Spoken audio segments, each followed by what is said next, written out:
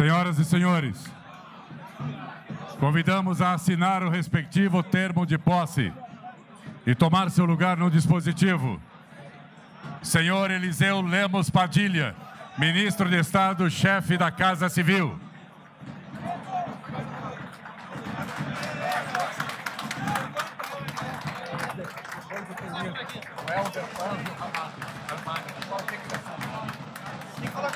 Pois é, mas não tá aqui.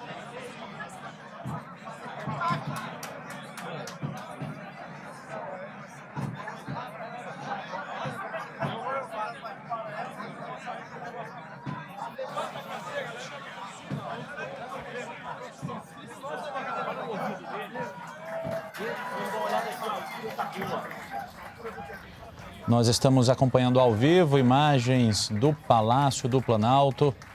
O presidente interino Michel Temer acaba de chegar para dar posse aos Senhor novos ministros. Vamos acompanhar a cerimônia. Estado, chefe da Casa Civil, para assinar seu termo de posse.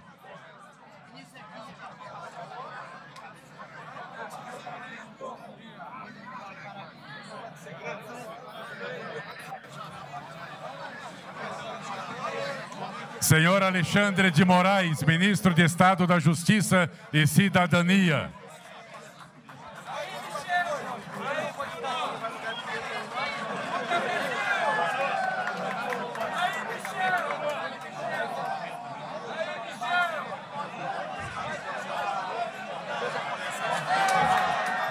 Eu sei, Gedel. Eu sei, Gedel. É agora.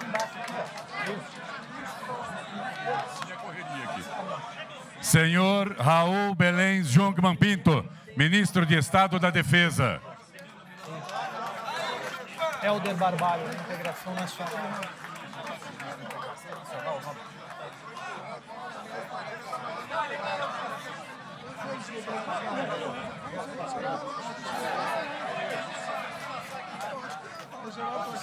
Chama, Filipinho, chama. Chama, Filipinho. Senhor Raul Belém Jungmann Pinto, ministro de Estado da Defesa.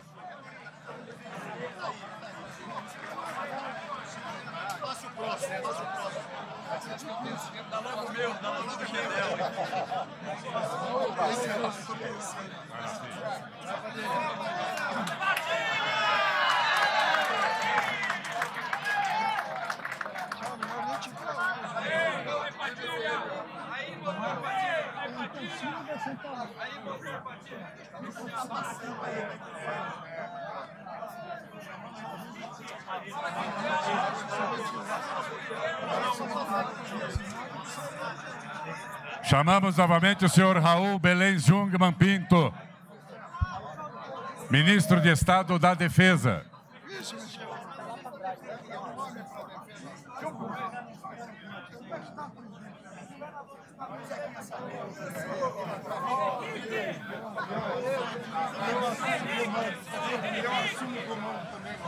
Senhor José Serra, ministro de Estado das Relações Exteriores.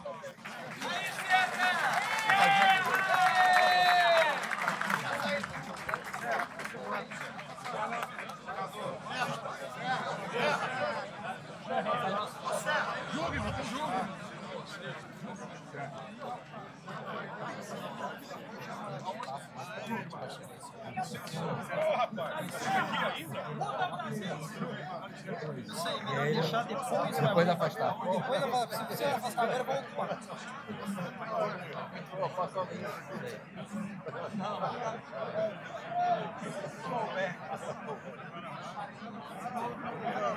Senão ele vai ser. Já foram chamados,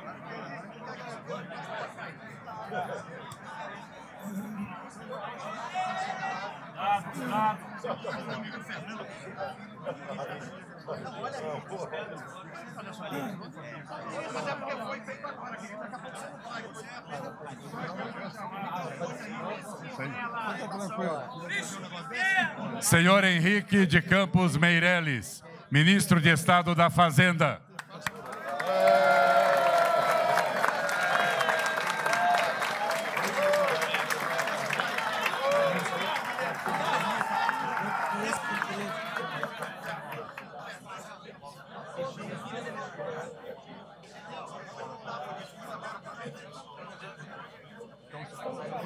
Ministro, não comigo. Aquele ali, o ministro-chefe do cerimonial. O ministro-chefe do cerimonial.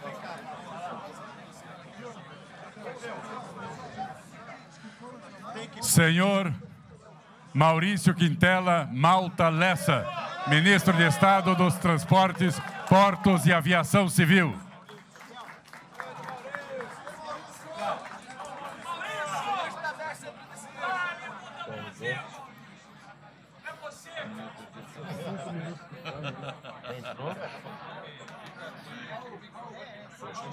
Acabou de iniciar.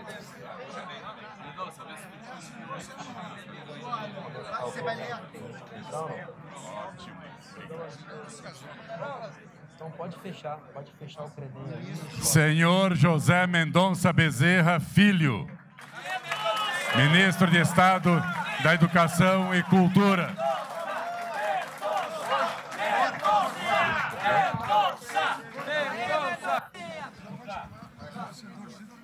Ela chegou. Ronaldo Nogueira de Oliveira, ministro de Estado do Trabalho. Pode fechar o credenho e subir. Sair pode? Não.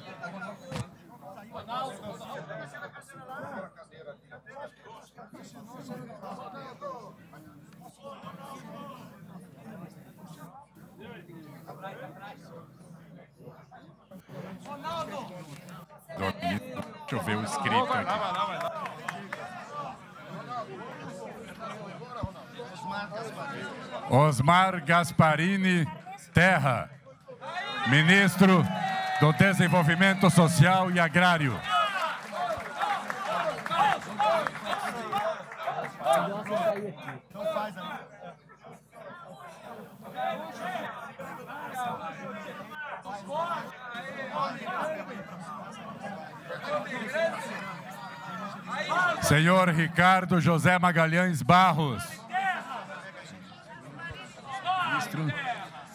Ministro, de Estado da Saúde.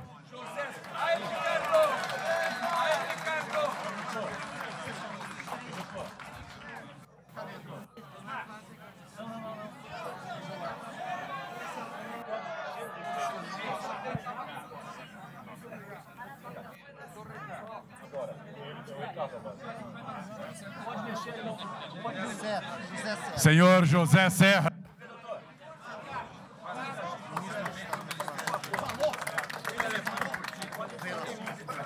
Ministro de Estado das Relações Exteriores.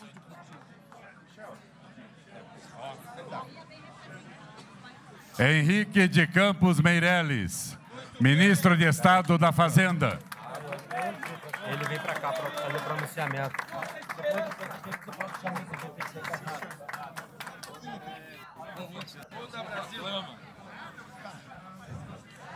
Blairo Borges Maggi, Ministro de Estado da Agricultura, Pecuária e Abastecimento.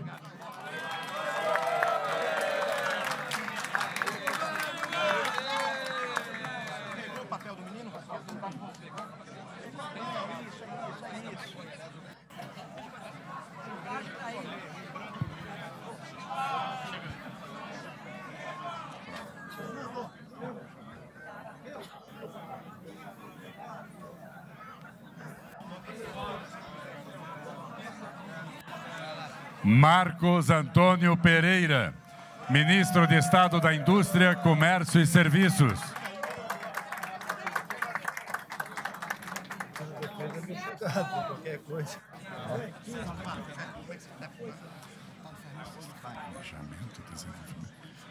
Romero Jucá Filho, Ministro de Estado do Planejamento, Desenvolvimento e Gestão.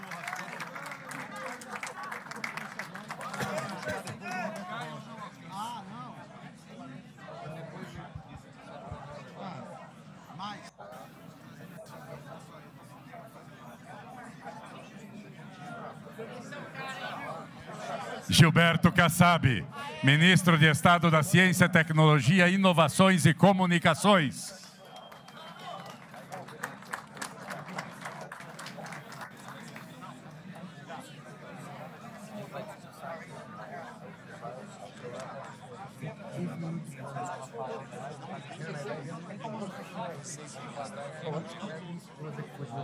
Acho que agora ela até volta.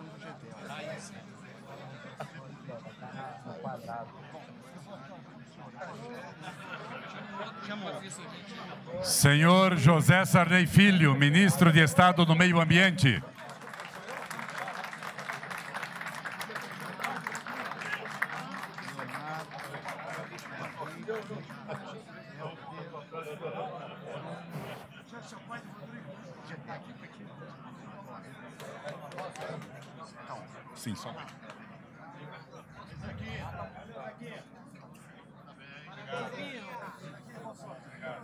Gedel Quadros Vieira Lima, ministro de Estado, chefe da Secretaria de Governo da Presidência da República.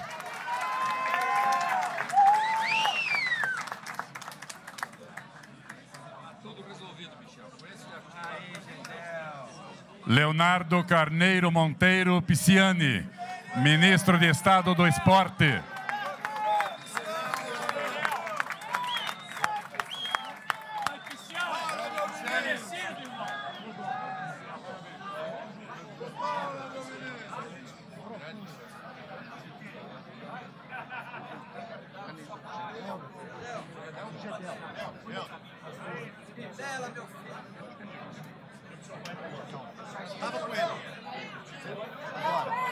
Ministro de Estado do Turismo, senhor Henrique Eduardo Alves.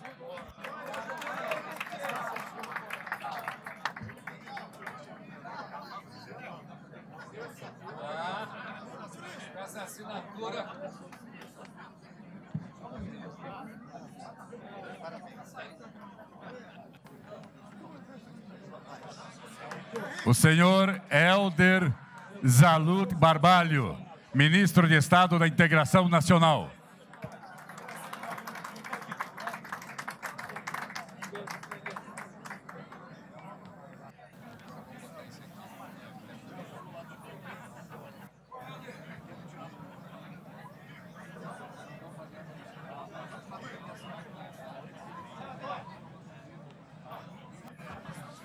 Bruno Cavalcante de Araújo, ministro de Estado das Cidades.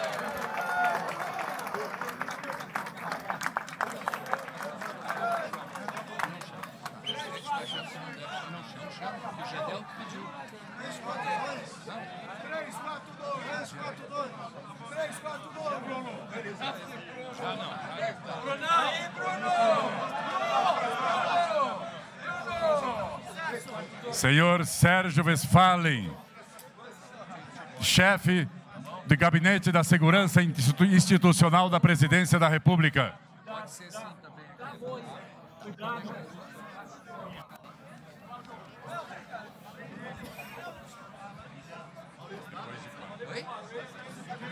Não chamou, eu.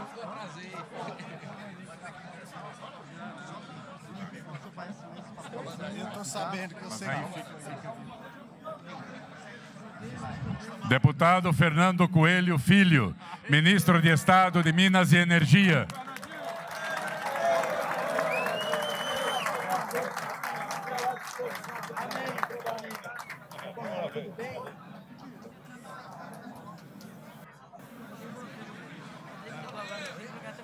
Fábio Osório Medina,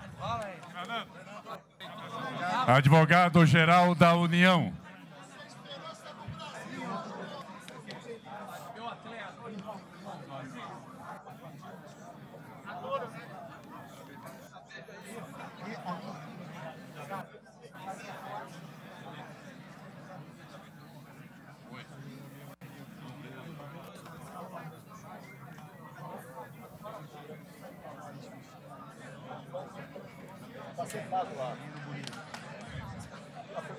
Fabiano Augusto Martins Silveira, ministro de Estado da Transparência, Fiscalização e Controle.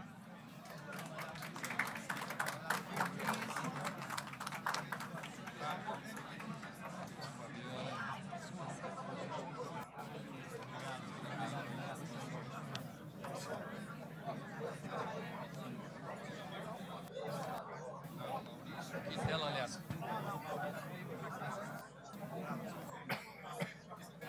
Maurício.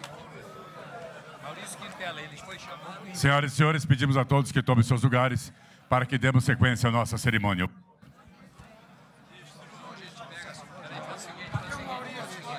Chama, chama, ele vem aqui, assina.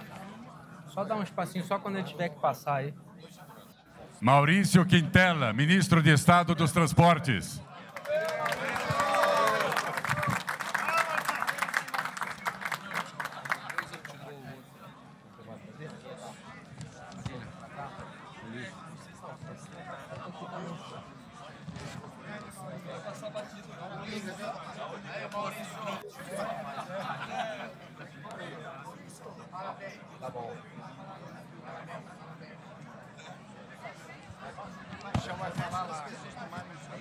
Senhoras, senhores, pedimos a todos, por gentileza, que tomem seus lugares, porque nós anunciamos agora, com a palavra, o presidente da República, Michel Temer.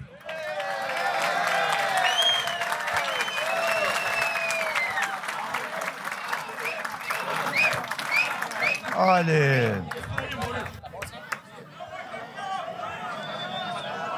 Meus amigos, eu quero cumprimentar todos os ministros empossados, os senhores governadores, senhoras e senhores parlamentares, familiares, amigos, senhoras e senhores. Eu pretendia que esta cerimônia fosse extremamente sóbria e discreta, como convém ao momento que vivemos. Entretanto, eu vejo o entusiasmo dos colegas parlamentares, dos senhores governadores, e tenho absoluta convicção de que este entusiasmo deriva precisamente da longa convivência que nós todos tivemos ao longo do tempo. Até pensei, num primeiro momento, que não lançaria nenhuma mensagem nesse momento. Mas percebi, pelos contatos que tive nestes dois últimos dias, que indispensável seria esta manifestação. E minha primeira palavra ao povo brasileiro é a palavra confiança. Confiança nos valores que formam o caráter de nossa gente, na vitalidade da nossa democracia. Confiança na recuperação da economia nacional, nos potenciais do nosso país, em suas instituições sociais e políticas, e na capacidade de que, unidos, poderemos enfrentar os desafios deste momento que é de grande dificuldade. Reitero, como tenho dito ao longo do tempo, que é urgente pacificar a nação e unificar o Brasil. É urgente fazermos um governo de salvação nacional. Partidos políticos, lideranças e entidades organizadas e o povo brasileiro hão de emprestar sua colaboração para tirar o país desta grave crise em que nos encontramos.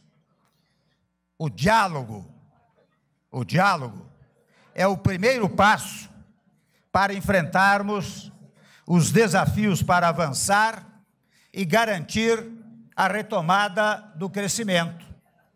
ninguém, absolutamente ninguém, individualmente, tem as melhores receitas para as reformas que precisamos realizar.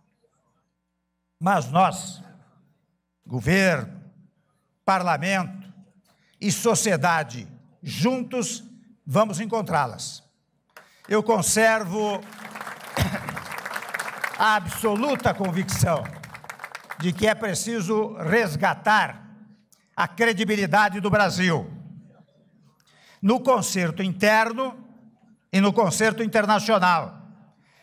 Fator necessário para que empresários dos setores industriais, de serviços, do agronegócio e os trabalhadores, enfim, de todas as áreas produtivas, se entusiasmem e retomem em segurança com seus investimentos.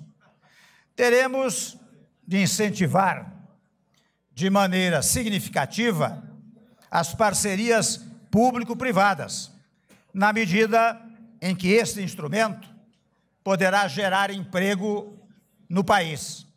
Sabemos que o Estado não pode tudo fazer. Depende da atuação dos setores produtivos, empregadores de um lado e trabalhadores de outro. São estes dois polos que irão criar a nossa prosperidade. Ao Estado compete, vou dizer aqui o óbvio, compete cuidar da segurança, da saúde, da educação, ou seja, dos espaços e setores fundamentais que não podem sair da órbita pública. O restante terá que ser compartilhado com a iniciativa privada, aqui entendida como a conjugação de ação entre trabalhadores e empregadores. O emprego, sabemos todos, é um bem fundamental para os brasileiros.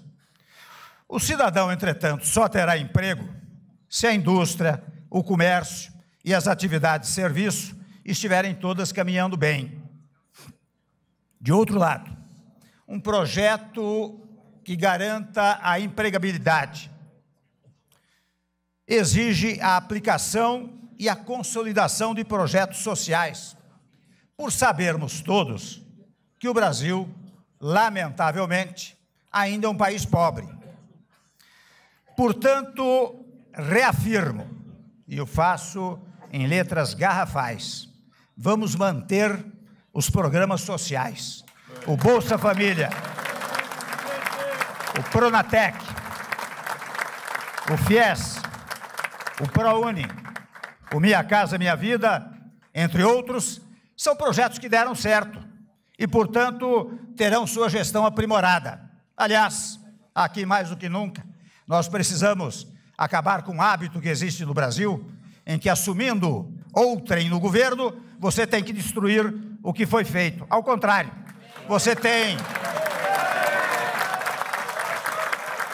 Você tem que prestigiar aquilo que deu certo completá-los, aprimorá-los e insetar outros programas que sejam úteis para o país. Eu expresso, portanto, nosso compromisso com essas reformas. É? Mas eu quero fazer uma observação. É que nenhuma dessas reformas alterará os direitos adquiridos pelos cidadãos brasileiros. Quando menos fosse, selo-ia pela minha formação democrática e pela minha formação jurídica.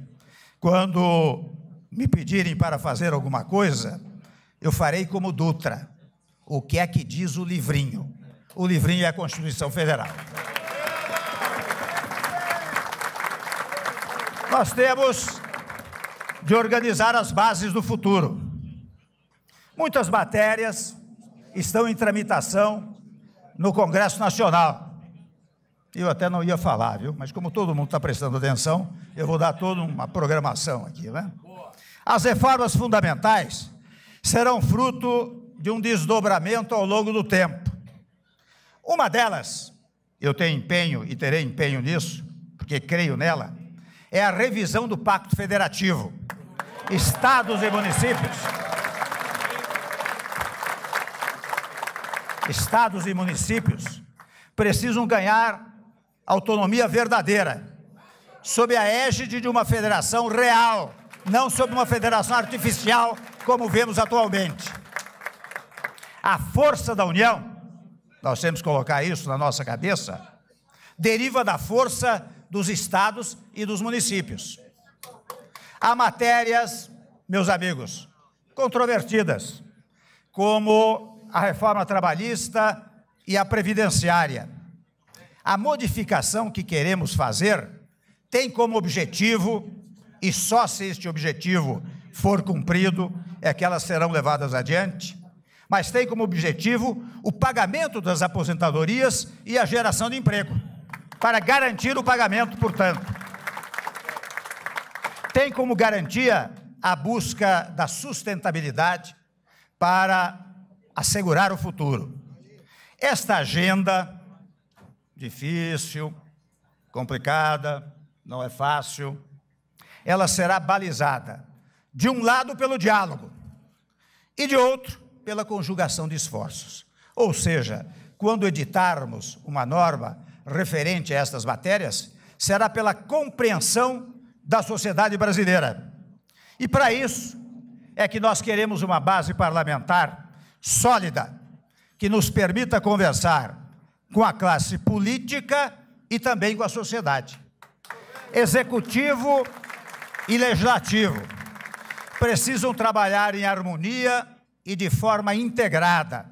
Até porque no Congresso Nacional é que estão representadas todas as correntes de opinião da sociedade brasileira. Não é apenas no Executivo. Lá no Congresso Nacional estão todos os votos de todos os brasileiros. Portanto, nós temos que governar em conjunto. Oh, água. Só física, né? O resto vai bem. Então, nós vamos precisar muito da governabilidade. E a governabilidade exige, além do que eu chamo de governança, que é o apoio da classe política do Congresso Nacional, precisa também de governabilidade, que é o apoio do povo. O povo precisa colaborar e aplaudir as medidas que venhamos a tomar. E, nesse sentido, a classe política, unida ao povo, conduzirá ao crescimento do país. Todos os nossos esforços estarão centrados na melhoria dos processos administrativos, o que demandará maior eficácia da governança pública. A moral pública, a moral pública será permanentemente buscada por meio dos instrumentos de controle e apuração de desvios. Nesse contexto, tomo a liberdade de dizer que a Lava Jato tornou-se referência e, como tal, deve ter prosseguimento e proteção quando, contra qualquer tentativa de enfraquecê-la. O Brasil, meus amigos, vive hoje sua pior crise econômica. São 11 milhões de desempregados, inflação de dois dígitos, déficit quase de 100 bilhões de reais, recessão e também grave a situação caótica da saúde pública no Brasil. Nosso maior desafio é estancar o processo de queda livre na atividade econômica, que tem levado ao aumento do desemprego e à perda do bem-estar da população. Para isso, é imprescindível reconstruirmos os fundamentos da economia brasileira e melhorarmos significativamente o ambiente de negócios para o setor privado, de forma que ele possa retomar sua vocação natural de investir, de produzir e gerar emprego e renda. De imediato, precisamos também restaurar o equilíbrio das contas públicas, trazendo a evolução do endividamento do setor público de volta ao patamar de sustentabilidade ao longo do tempo. quanto mais cedo formos capazes de reequilibrar as contas públicas, mais rápido conseguiremos retomar o crescimento. A primeira medida na linha desta redução está, ainda que modestamente, aqui representada. Já eliminamos vários ministérios da máquina pública. E ao mesmo tempo. E ao mesmo tempo, nós não vamos parar por aí. Já estão encomendados. Bem que eu pedi, um, bem que eu pedi uma pastilha. Já estão encomendados estudos para eliminar, para eliminar. Chega, é muito. Já estão encomendados estudos para eliminar cargos comissionados e funções gratificadas.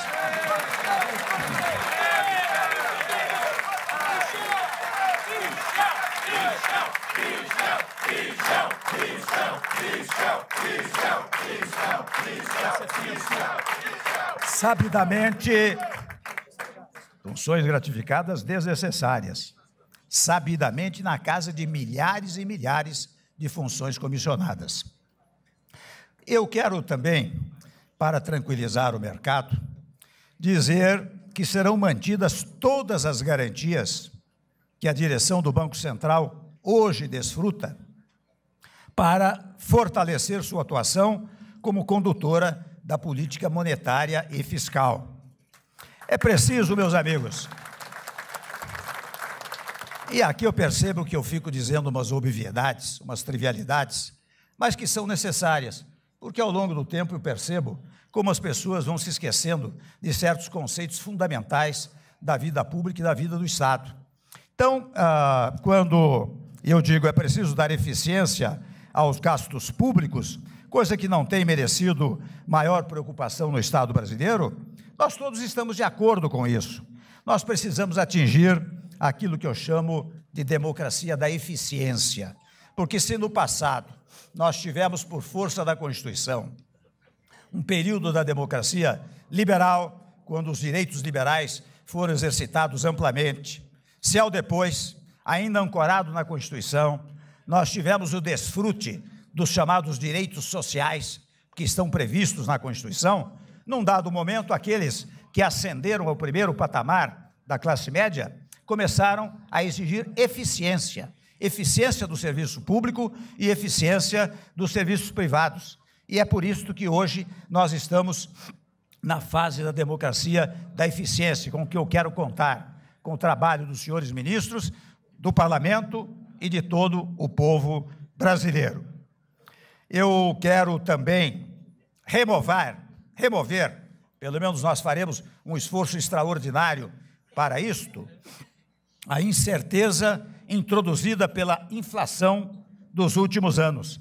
Inflação alta, vai mais uma trivialidade, atrapalha o crescimento, desorganiza a atividade produtiva e turva o horizonte de planejamento dos agentes econômicos. E sabe quem sofre as primeiras consequências desta inflação alta? É a classe trabalhadora e os segmentos menos protegidos da sociedade é que pagam a parte mais pesada dessa conta. Nós todos sabemos que há um bom tempo o mundo está de olho no Brasil. Os investidores acompanham com grande interesse as mudanças no nosso país. Havendo condições adequadas, e nós vamos produzi-las, a resposta será rápida, pois é grande a quantidade de recursos disponíveis no mercado internacional e até internamente, e ainda maior as potencialidades no nosso país. É com base no diálogo nós adotaremos políticas adequadas para incentivar a indústria, o comércio, os serviços e os trabalhadores. E a agricultura, tanto a familiar quanto o agronegócio. Precisamos prestigiar a agricultura familiar, que é quase um, micro empreendimento na área da agricultura, especialmente apoiando e incentivando os micros, pequenos e médios empresários. Além de modernizar o país, estaremos realizando o maior objetivo do governo: reduzir o desemprego, que há de ser, os senhores percebem que eu estou repetindo este fato, porque eu tenho tido, e os senhores todos têm tido, contato em todas as partes do país com famílias desempregadas. E nós vemos o desespero desses brasileiros que contam com um país com potencialidades extraordinárias e que não consegue levar adiante uma política econômica geradora de empregos para todos os brasileiros.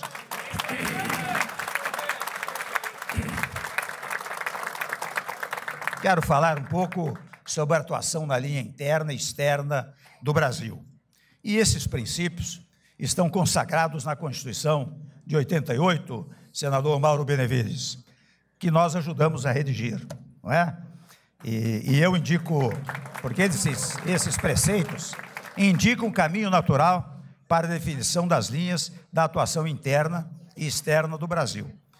Os senhores veem que eu, eu insisto muito no tema da Constituição, porque, a meu modo de ver, toda vez que nós nos desviamos dos padrões jurídicos, e o direito existe exata e precisamente para regular as relações sociais, quando nós nos desviamos das dos lindes, dos limites do direito, nós criamos a instabilidade social e a instabilidade política. Por isso que eu eh, insisto sempre na invocação do texto constitucional. Pois muito bem, a, nesta Constituição, a independência nacional, a defesa da paz e da solução pacífica de conflitos, o respeito à autodeterminação dos povos, a igualdade entre os Estados, a não intervenção, a centralidade dos direitos humanos e o repúdio ao racismo e ao terrorismo, dentre outros princípios, são valores profundos de nossa sociedade e traçam a imagem de um país pacífico e ciente dos direitos e deveres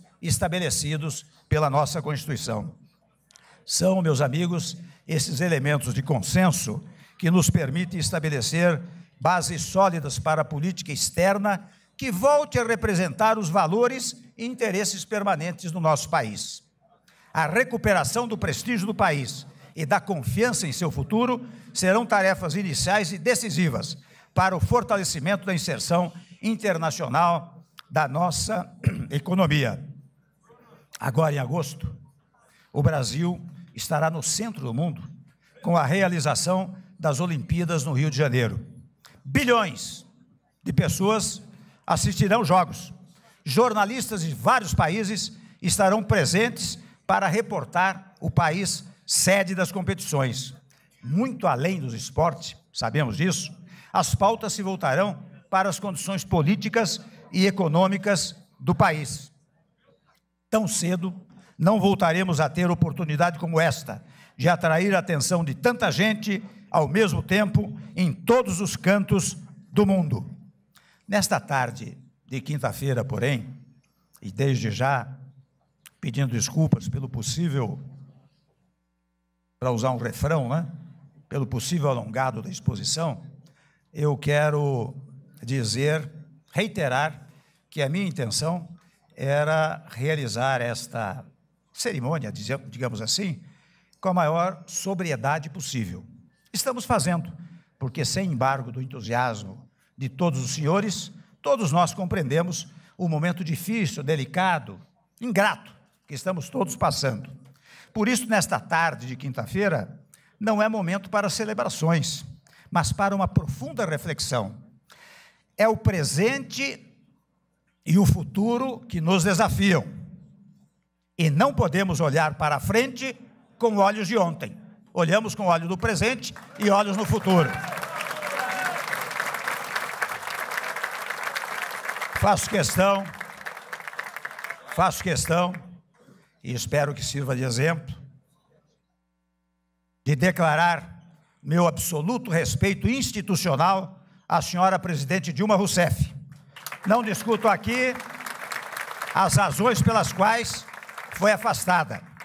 Quero apenas sublinhar a importância do respeito às instituições e a observância à liturgia nas questões, no trato das questões institucionais. É uma coisa que nós temos que recuperar no nosso país. Uma certa cerimônia, não pessoal, mas uma cerimônia institucional, uma cerimônia em que as palavras não sejam não sejam propagadoras do mal-estar entre os brasileiros, mas ao contrário, que sejam propagadoras da pacificação, da paz, da harmonia, da solidariedade, da moderação, do equilíbrio entre todos os brasileiros. Tudo o que disse, meus amigos, faz parte de um ideário que ofereço ao país, não em busca da unanimidade, que é impossível, mas como início de diálogo com busca de entendimento. Farei muitos outros pronunciamentos. E meus ministros, também, meus ministros é exagerado, são ministros do governo. Né? O presidente não tem vice-presidente, não tem ministro. Quem tem ministro é o governo. Então, os, os ministros do governo né? ah, farão manifestações eh, nesse sentido, sempre no exercício infatigável de encontrar soluções negociadas para os nossos problemas. Temos pouco tempo, mas se nos esforçarmos, é o suficiente para fazer as reformas que o Brasil precisa. E aí, meus amigos, eu quero dizer, mais uma vez, da importância desta harmonia entre os poderes, em primeiro lugar. Em segundo lugar, a determinação da própria Constituição, e eu a cumprirei, no sentido de que cada órgão do poder tem as suas tarefas. O executivo executa, o legislativo legisla, o judiciário julga. Ninguém pode interferir em um ou outro poder por uma razão singela. A Constituição diz, a Constituição diz que os poderes são independentes e harmônicos entre si. Ora bem, nós não somos os donos do poder, nós somos exercentes do poder. O poder está definido na Constituição, é do povo. Quando o povo cria o Estado, ele nos dá uma ordem. Olha aqui, vocês que vão ocupar os poderes, exerçam-no com harmonia, porque são órgãos exercentes de funções. Ora, quando há uma desarmonia, o que há é uma desobediência à soberania popular, portanto, há uma inconstitucionalidade. E isso nós não queremos jamais permitir que se pratique. Dizia aos senhores que a partir de agora nós não podemos mais falar em crise trabalharemos. Aliás, há pouco tempo eu passava por um posto de gasolina na Castelo Branco e o sujeito botou uma placa lá. Não, não, não fale em crise. Trabalhe. Eu quero ver até se consigo espalhar essa frase com 10, 20 milhões de outdoors por todo o Brasil, porque isso cria também um clima de é, harmonia, de interesse, de, de, de, de otimismo, não é verdade? Então, ah, ah, não vamos falar em crise, vamos trabalhar. O nosso lema, que não é um lema de hoje, o nosso lema é ordem e progresso. A expressão, a expressão da nossa bandeira não poderia ser mais atual, como se hoje tivesse sido redigida. Finalmente, meus amigos, fundado num, num critério de alta religiosidade, e vocês sabem que religião vem do latim religo, religare, portanto, você, quando é religioso, você está fazendo uma religação, e o que nós queremos fazer agora com o Brasil é um ato religioso, é um ato de religação de toda a sociedade brasileira com os valores fundamentais do nosso país. Por isso que eu peço a Deus que abençoe a todos nós. A mim, a minha equipe, aos congressistas, aos membros do Poder Judiciário e ao povo brasileiro, para estarmos sempre à altura dos grandes desafios que temos pela frente. Meu muito obrigado e um bom Brasil para todos nós. Senhoras e senhores, está encerrada esta cerimônia. Sorte.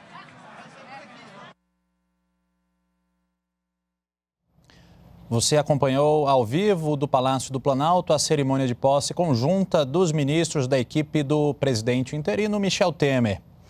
Assumiram Gilberto Kassab como ministro da Ciência, Tecnologia, Inovações e Comunicações, Raul Jungmann, ministro da Defesa, Romero Jucá, do Planejamento, Desenvolvimento e Gestão, Gedel Vieira Lima, ministro-chefe da Secretaria de Governo, Sérgio Westphalen, do Gabinete de Segurança Institucional, Bruno Araújo, ministro das Cidades, Blairo Maggi, ministro da Agricultura, Pecuária e Abastecimento, Henrique Meirelles, ministro da Fazenda, Mendonça Filho, ministro da Educação e Cultura, Eliseu Padilha, ministro-chefe da Casa Civil, Osmar Terra, ministro do Desenvolvimento Social e Agrário, Leonardo Pisciani, ministro do Esporte, Ricardo Barros, ministro da Saúde, José Sarney Filho, ministro do Meio Ambiente, Henrique Eduardo Alves, ministro do Turismo, José Serra, ministro das Relações Exteriores, Ronaldo Nogueira de Oliveira, ministro do Trabalho, Alexandre de Moraes, ministro da Justiça e Cidadania,